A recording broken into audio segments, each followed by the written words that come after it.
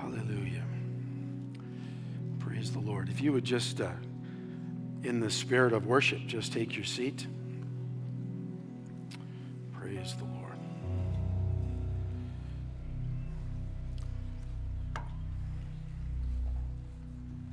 Praise God.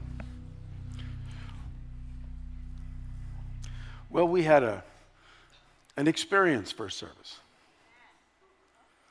The Lord moved uh, and spoke to us prophetically.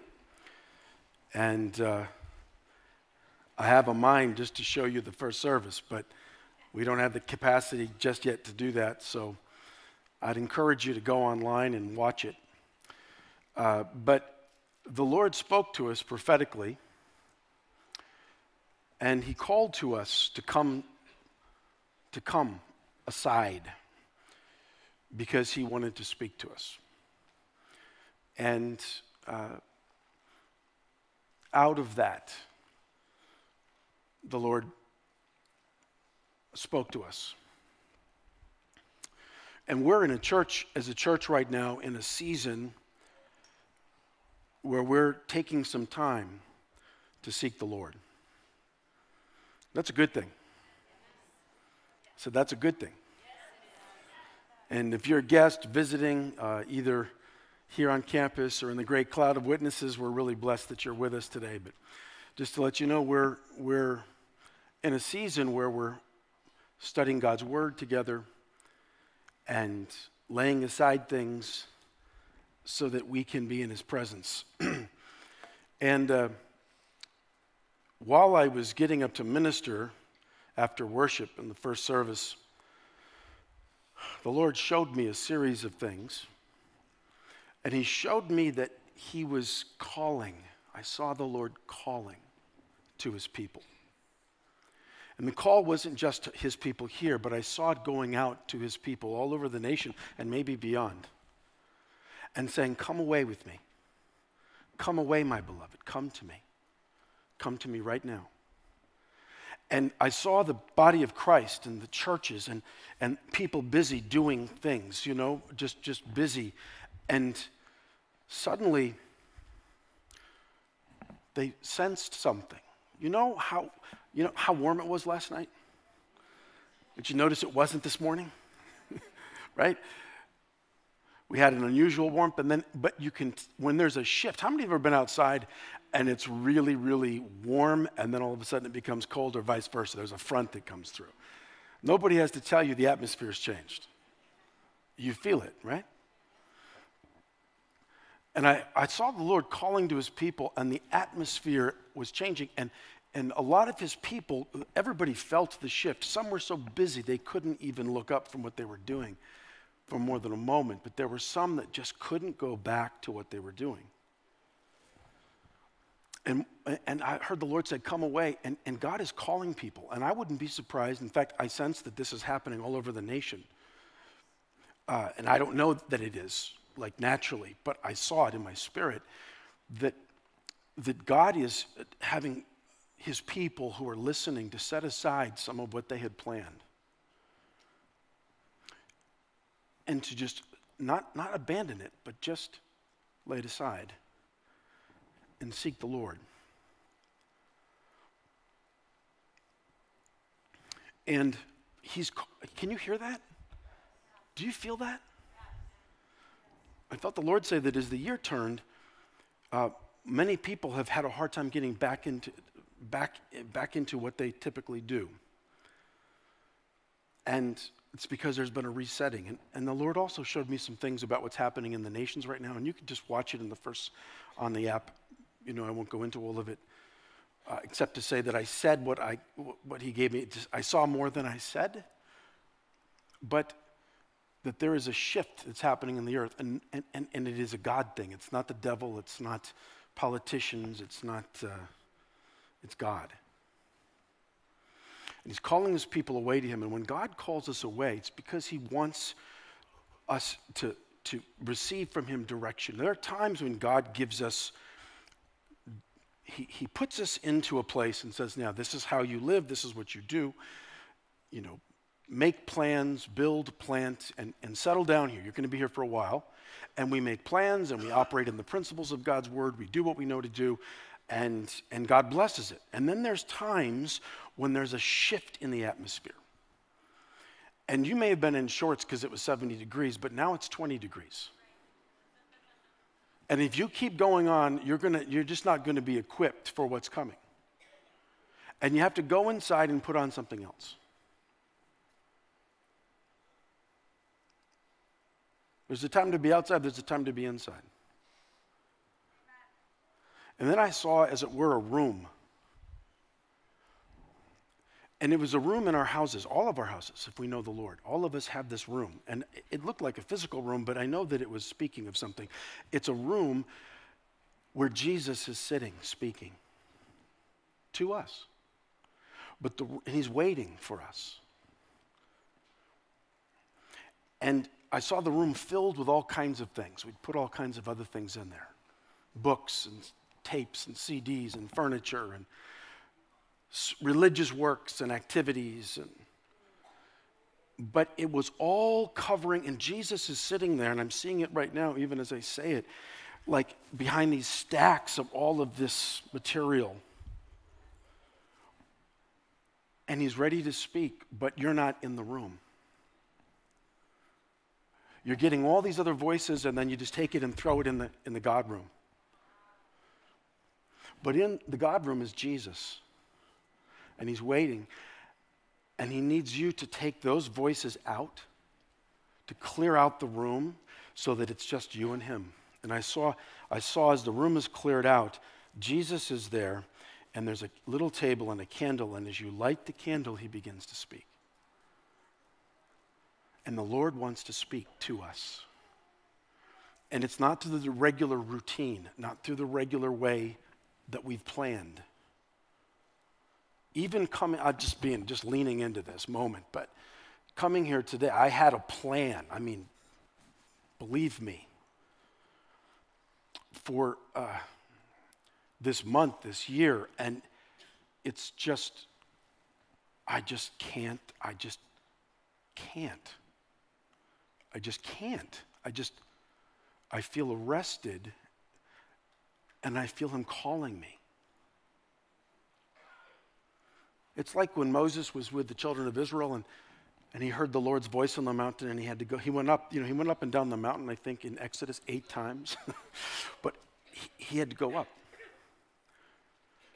And, and I saw that room, and all of us have a room. And some of us haven't even been there. We don't even know it's, we, we've never even sat in that room apart from all the other voices and just listened to Jesus and His Word. Some of us haven't been there in a long time. But this is what I saw the Lord is speaking. And if you don't go in the room and clear out the other stuff, you're going to miss it. You're not going to hear what He's saying. And I just felt like the Lord isn't being silent anymore. He's actually speaking but you're not going to hear it unless you go into the room. Is this, are you capturing the spirit of this? He's calling you. I'm telling you, the Lord is calling to you. Those who are near and those who are far, those who are serving the Lord with all they know to do, and those that are just kind of sticking God in a place and not even sure what you believe, but you're here because, you know, it's what you do on Sundays. I want to tell you something. In the season that is coming upon this earth, Business as usual will not work. Not for his people. Do you know the world can get away with things you can't? And God is gracious and He lets us get away with things for a long time because He's so merciful. But there comes moments in life and moments in the earth where, where the room, we, we have to get rid of all of, not just the sinful things, just the things that we've piled into the God room that are actually not, they're helpful and good, but they're not Him. And we have to find that place where we sit at His feet and hear His word. And He wants to speak to us. And if you, if you,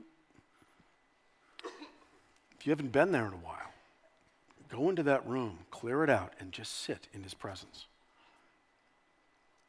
The devotional guide that we have is a helpful thing, it's just there to help. But ultimately, it's not the guide, it's Jesus. and He wants to speak. Turn to somebody and say, The Lord wants to speak. In fact, in fact, I believe He is speaking. Uh, and so, and so, I, if you have your Bible, just open up to Jeremiah 15.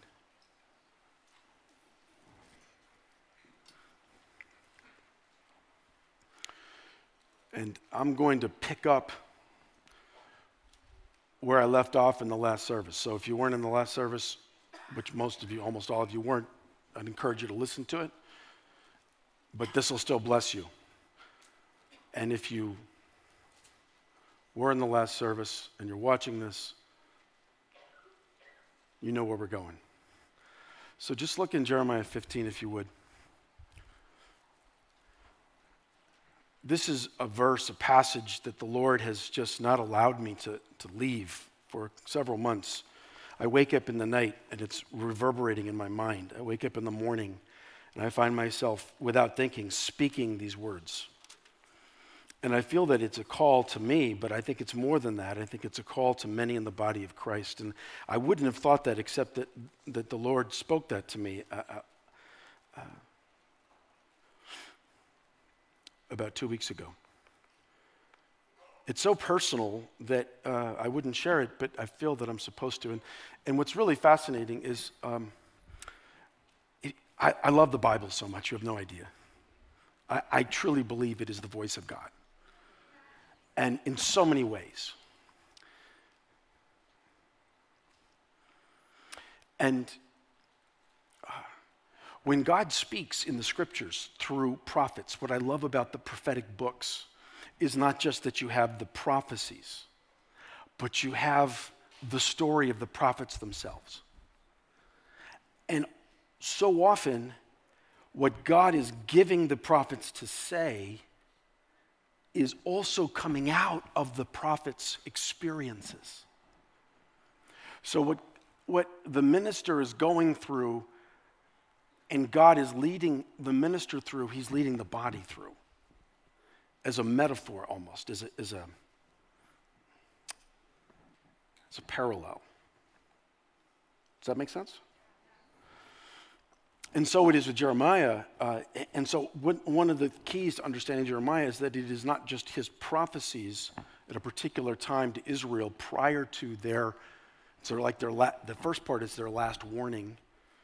And then the second part is what happens because they didn't listen and how they're taken captive. And God then uses that captivity to do what they wouldn't listen to in the beginning.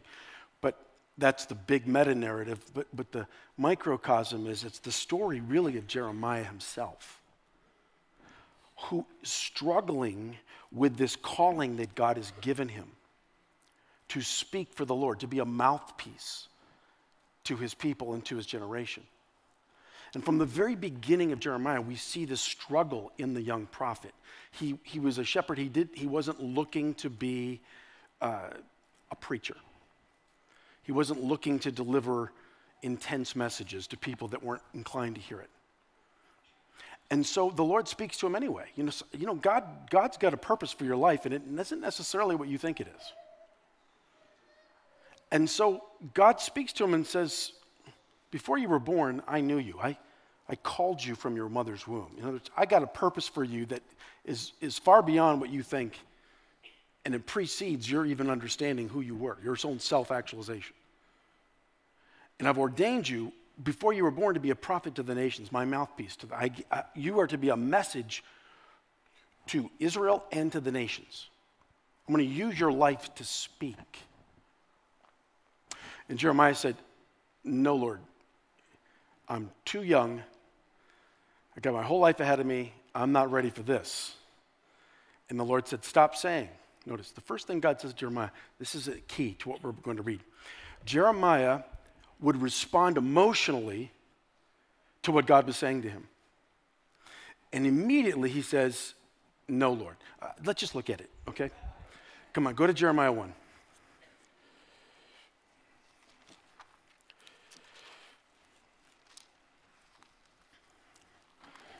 I'm just going to put these away. Okay. Jeremiah 1.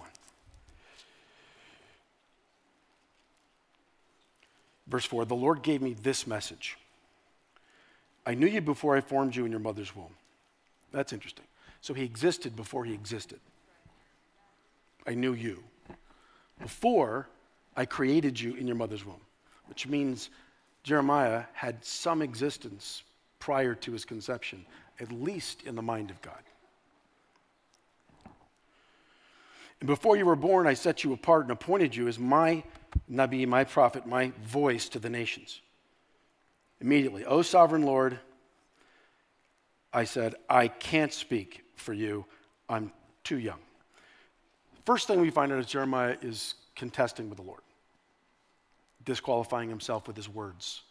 And what does the Lord do? First thing the Lord says to Jeremiah after he gives him his assignment is, He says, Don't say. Would you just read that with me? Don't say. Did you know that if you're going to be used of the Lord to fulfill his purpose for your life, there's some things you just have to stop saying? Words matter. We're in a world where words are cheap. Everyone's saying anything that comes to their minds without regard to consequences. We celebrate liberty and fear responsibility. But liberty without responsibility is chaos.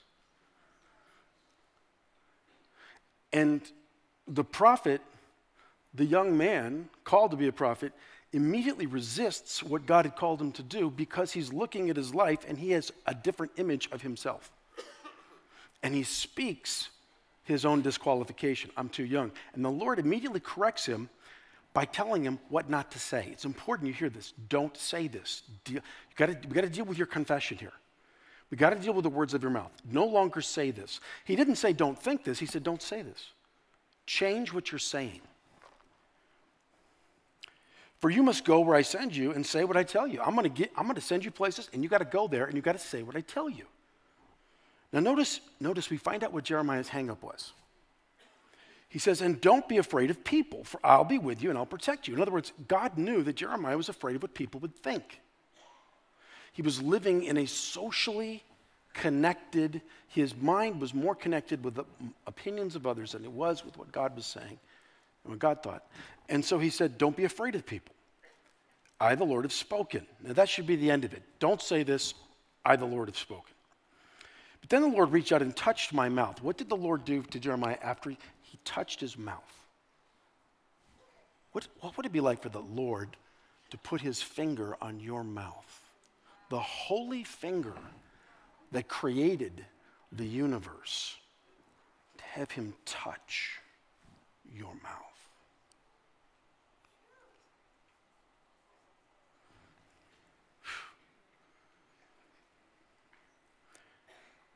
And he said, Look, or behold, see this. I've put my words in your mouth. Not your disqualifying self revelation, but my revelation of who you are. You say this isn't what you want to do, and you're too young to do it. I say this is who you are, and this is who you were before you were born, and you must say what I'm telling you to say and go where I'm telling you to go. So stop saying what you've been saying. And then he touched his mouth. And he said, I put my words in your mouth, and today I appoint you to stand up against nations and kingdoms. Some you must uproot and tear down, destroy and overthrow. Others you must build up and plant. He said, I'm going to give you words, and with my words, you're going to do what I've called you to do. And so Jeremiah starts delivering those words, and, and as you read through the book of Jeremiah, it was an intense message. And so in chapter 15, and I just want you to see this, Jeremiah is now in a tough spot because people are oppressing him for what he's been saying. And he's midway through his ministry and he's just done. And we get a glimpse into his heart. In, in verse 10, he said, What sorrow is mine? My mother, oh, that I had died at birth. I'm hated everywhere I go. And he, he starts talking about how he feels and what other people think about him. And the Lord says to him in verse 11, I'll take care of you, Jeremiah. I'll take care of you. And Jeremiah just keeps on going in verse 15. You know what's happened to me. Please step in and help me. Punish my person. He's in this loop of, of just angst. And, and he finally says in verse 18 about God, why does my suffering continue? Why is my wound so incurable? Your help seems uncertain as a seasonal brook, like a spring that's gone dry. God, you, you, it feels like you're not even with me. You're not helping me. You're only occasionally anointing, uh, giving me help like a, like, a, like a little bit of water in a drought every now and then. It's not enough, God. It's not enough. Can you see? He's just, even though God said, hey, I'm, I'm going to take care of you. He's, he's, just so focused on his own, in, his own pain. And so the Lord responds to him and says, and this is, this is the verse, verse 19. If you return to me, I will restore you so you can continue to serve me. And the word return and restore are the same Hebrew word, but it's a play. And what he's saying is if you if you come back, now, Jeremiah hadn't backslidden, but he, what, he was no longer focused on the Lord himself.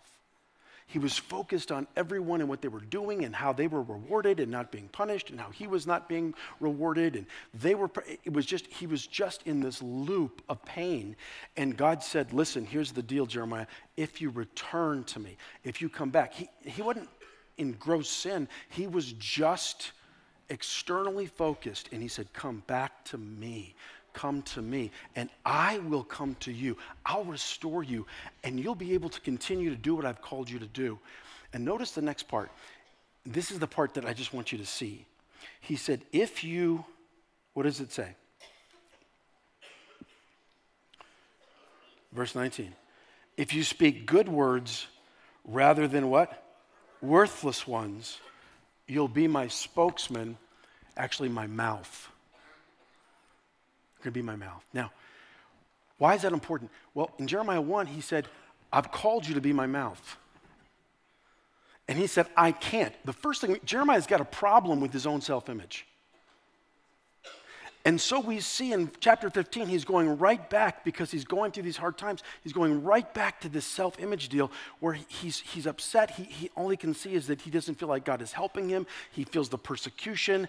And all of those feelings were genuine and real. But here's the thing God said to him in the middle of his complaint, Hey, I'm with you. I'm going to take care of you. And Jeremiah doesn't even acknowledge that. He just goes right back into his loop. It seems like you're not even there. It seems like the Lord just said to you, I'm going to take care of you. And he's like, It seems like your help isn't even there. I cry out to you, and it's like a little brook in, in, that only occasionally gives me a little water, and, and, I, and you're not help. And the Lord says, Here's my reply to you. If you return to me, what does he mean by that? If you come back to looking at me and not everything else, I will restore you and, here, and part of the restoration is you've got to come back to the Lord. Now, this is why I'm saying this, because in this season, I feel the Lord is calling his body, and I believe that you're going to see this around the country. That God is calling his people who will listen to, to a, a place where we need to come close and listen to him, because there are some things. Uh, there are some things happening and about to happen in the world, and if you try to put your opinion on it or get in the middle of it, you're going to get injured. God is in control of this nation. God has reset the table in the Middle East, and it's not done yet. This is a moment. In the first service, I saw this as a moment like when the first, the first hammer hit the Berlin Wall in 1989. This is a moment of rapid change. And it's not about a presidential election, it's way beyond that. God is resetting the table for the gospel.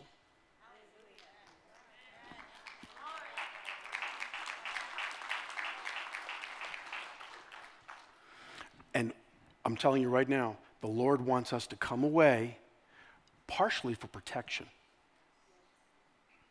Because things are going to start falling in the world. There's going to be some judgments that are going to be poured out or going to happen. God's going to take some, He's going to allow some consequences to come.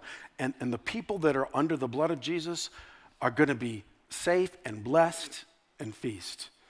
But you need to come away. You need to get out of the streets and, and stop trying to change the culture. In this moment, you need to come to Jesus. And just sit back and watch and pray.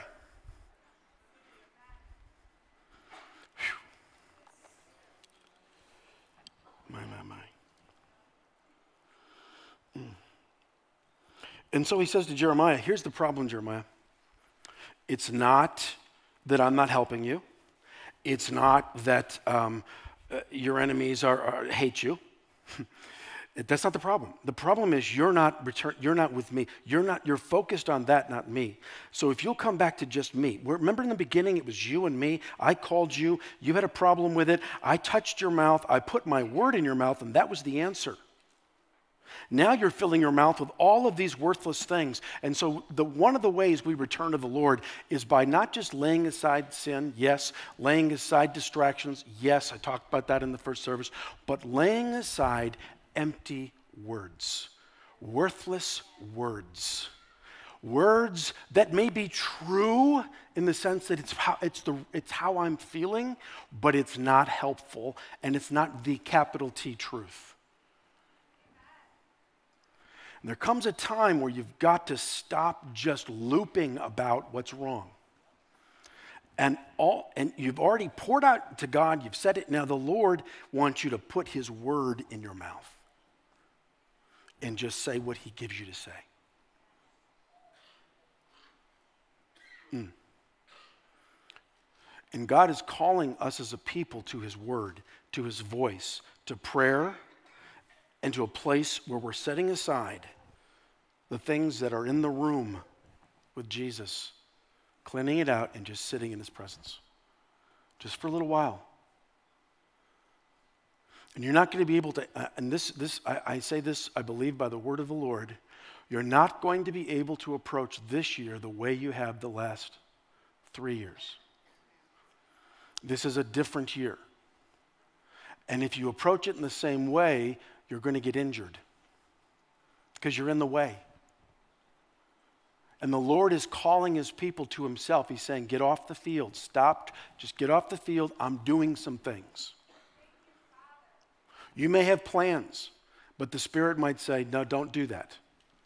Don't go there. Don't just hold it. Hold, he's not saying it's no. He's saying, wait, not right now. I'm doing something.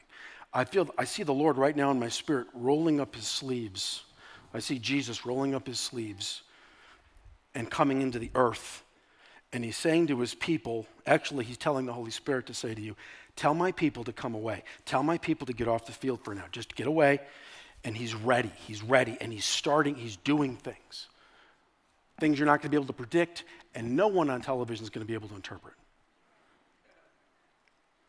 And you don't even have to interpret it, you just have to get out of the way. And that doesn't mean you're idle, you're with Jesus because he's speaking. There's things he wants to tell you. How many of you feel that? You just feel I can't just go back to my life like it has been. There's just, I can't. I don't have energy to do it. There's like, and that's because we're in a pause right now. While the Lord is doing some things in this nation, in institutions in this nation, uh, Hmm, that's all I'm going to say. And we need to be with Him. You know, Noah, God had this thing, He was going to deal with the earth and do a big reset. But before he did the reset, he said, Now, Noah, build a boat and get inside. He didn't say, Build a boat, put the animals in, and you go swimming. a lot of people in the body of Christ, you know, there's a season to be in the boat. There's a season to be out there. Noah was a preacher of righteousness, according to Hebrews 11. He warned his generation.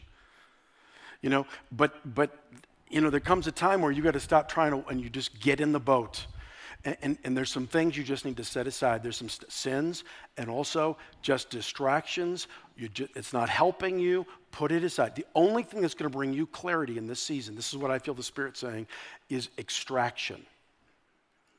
Extraction of things that are other voices and, and taking that and pulling into the Lord going back to Jesus, returning to Him alone. Hallelujah. Is, any, is, is this bearing witness with anybody in this house? Amen.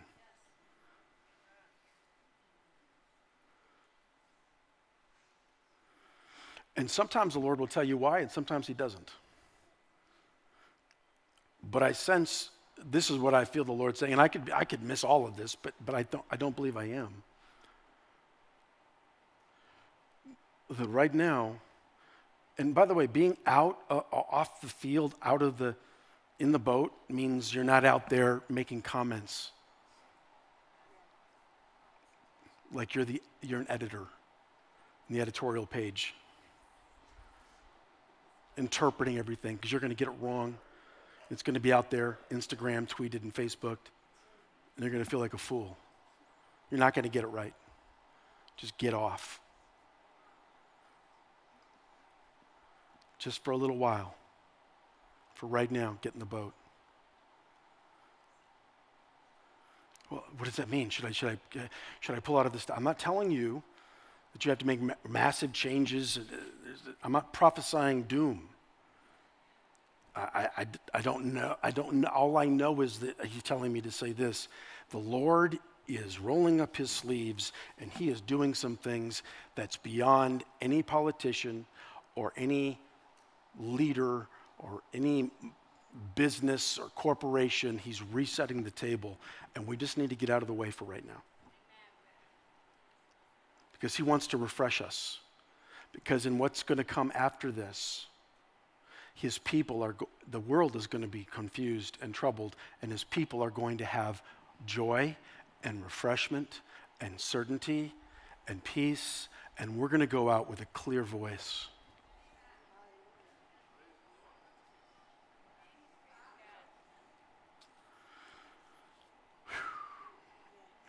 So, words. What are the words what are the words that the Lord wants you to audit right now? To inspect and set aside.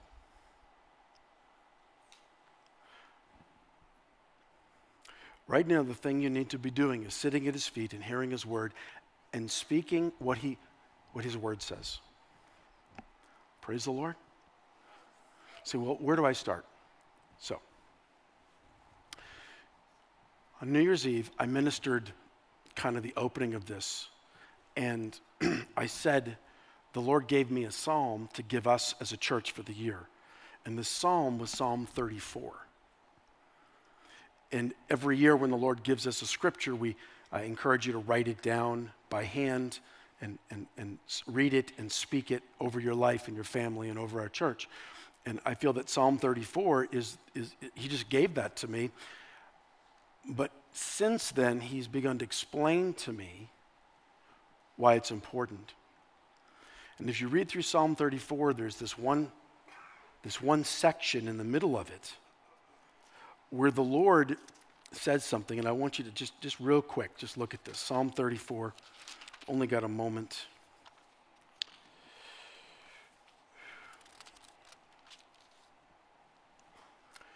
Notice Psalm 34 opens up with a statement about what his people should be saying.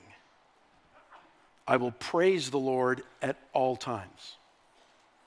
We, his, will, his praise shall continuously be in my mouth. I will constantly speak his praise. So we're supposed to be talking about God and how great he is, not about what we think is happening in the world.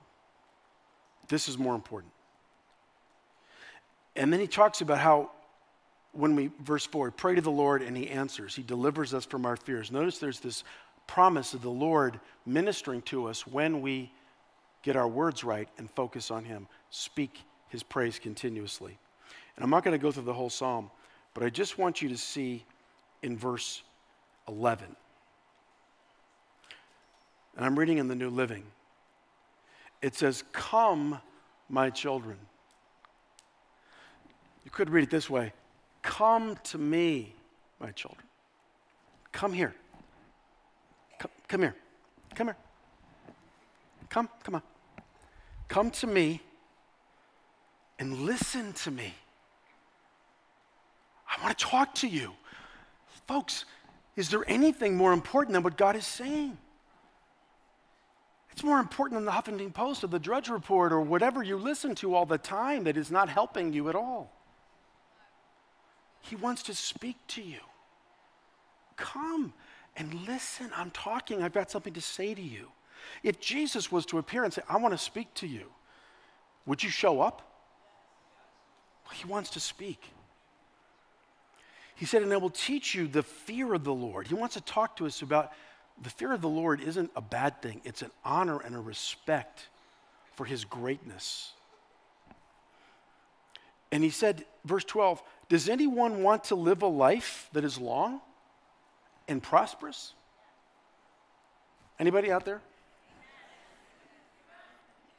I want to live a long life as long as it's prosperous, right?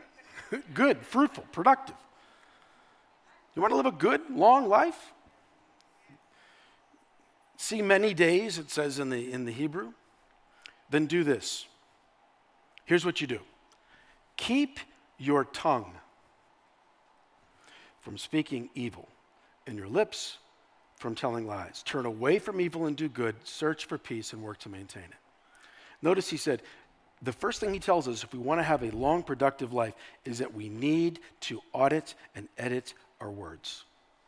It's, we need to cut some things out and speak things. So if you want to know what to speak, speak some of these verses in Psalm 134 or Psalm 34. Speak these out of your mouth. When you're troubled, just say, when you're fearful, just say, I sought the Lord and he heard me and he delivered me from all my fears. I seek the Lord and he hears me and he delivers me from all my fears. I'm seeking you, Lord, and you're hearing me and you are delivering me from all my fears. I feel exposed. I feel like the angel of the Lord encamps around, surrounds me because I fear and respect him and he defends me. The Lord, the angel of the Lord is with speak some of the till they're in your heart. Take one verse maybe a week and just meditate on it and meditate on it and say it. It'll get in you. But uh, take the worthless words that aren't producing anything, the negative loops about yourself and your, your effectiveness and all just read what Jeremiah said. All of just set that aside for now and stop talking like that. The Lord will take care of you. And say this instead. Go back to his word because he put his word, he, he put, he's put his word in our mouths, but we have to speak it. And in this season, I just feel like this is what the word of the Lord is. Today, I feel like this is what the word of the Lord is. Return to good words. Take away the things. If you're going to if you're going to really come and answer that call of the Lord to come to me, part of coming to the Lord is keeping your tongue. Don't speak worthless things. Don't speak lies. Just praise him and focus on him especially right now. And I believe this is what the Lord is saying to the church today. Amen. Praise the Lord. Can we stand up? Hallelujah. Thank you, Father. Thank you, Father. Let's just take a moment and worship the Lord. Thank you, Father.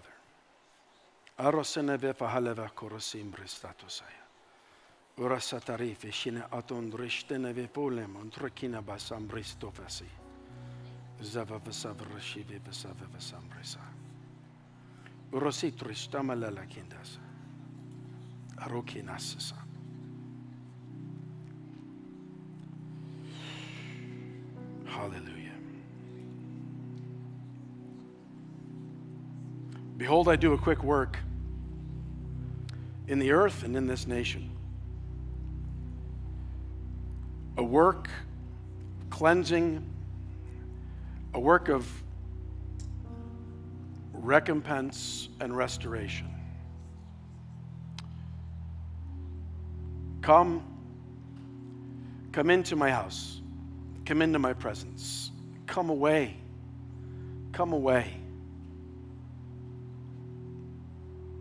For I am speaking, and I have great comfort and blessing. For a day in my presence is better than a thousand years anywhere else.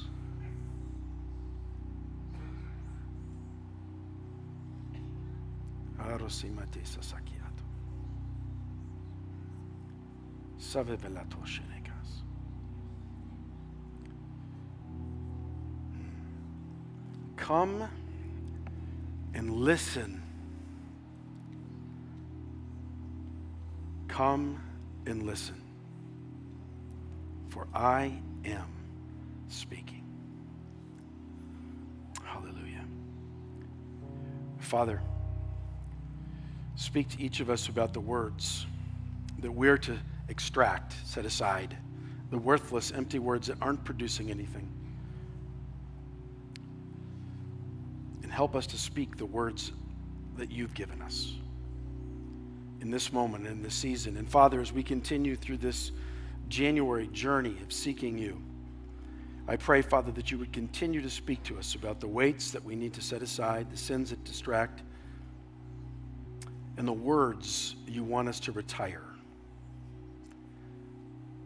Because we must return to your word if we're going to be restored. Hallelujah. Just say this out loud Father, I return to you. Speak, for your servant is listening. In Jesus' name. Hallelujah. Let's just worship him for just a moment. Thank you, Father. Thank you, Father. Thank you, Father. Thank you, thank you, thank you, thank you.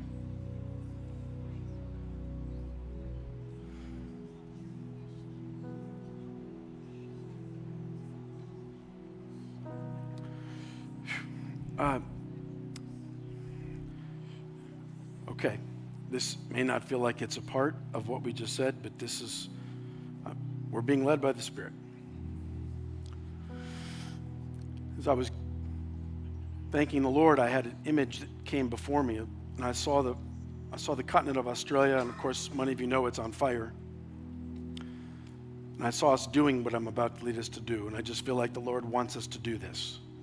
Uh, he's probably leading lots of others to do it, but I feel like we're supposed to do it. So can we be led to do this? Yeah. All right, I want you to join hands real quick.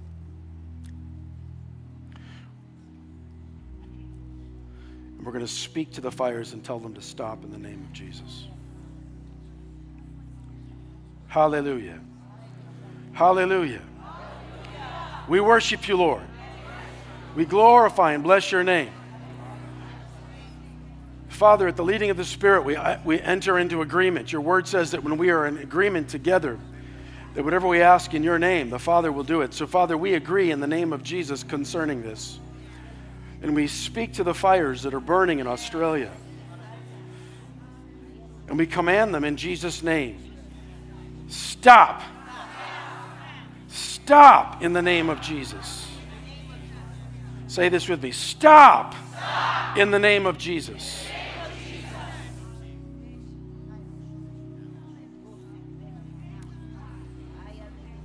And those who set fires, let them be arrested in the name of Jesus.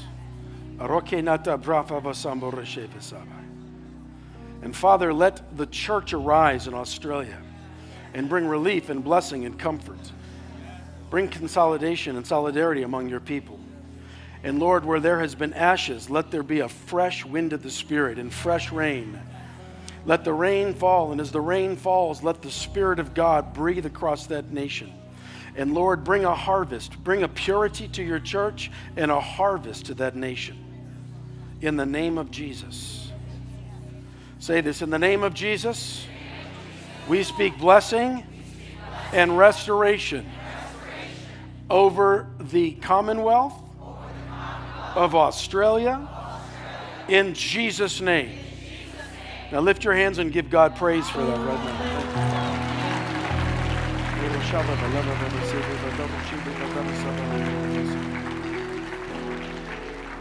Ooh, hallelujah. Thank you, Lord. Thank you, Father. Let's just begin to just continue to thank Him. We believe it's done. Thank you, Lord. Hallelujah. Hallelujah. Hallelujah. We love you so much, Lord. You're so good. Father, we as we as we close this service, we do so, Lord, with thought and meditation upon your love and your grace and mercy. Let us run to you. Not just turn to you, but run to you, Lord. And we thank you that you love us enough to call us to yourself. In Jesus' name. Hallelujah. I just want to say if you're here today and you'd like to turn to the Lord, maybe you've been living far from God. Or maybe you've never given your life fully to the Lord, to God and to Jesus. Listen, Jesus loves you. He died for you. He's your Savior. He wants you to receive Him. But you have to, you have to receive Jesus.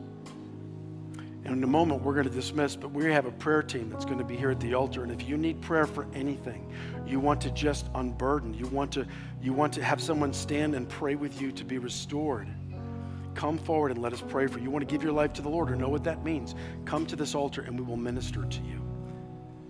You just don't feel like you're supposed to leave yet. You feel like you're supposed to pray a little longer. Just come and seek the Lord. Because the Lord is calling you to himself. Hallelujah. In Jesus' name. Now may the Lord bless you and keep you. May he make his face to shine upon you and be so gracious and favorable to you. May he lift up his face upon you and give you peace. And may something wonderful and awesome and great happen in your life this week as you seek to serve him. In Jesus' name.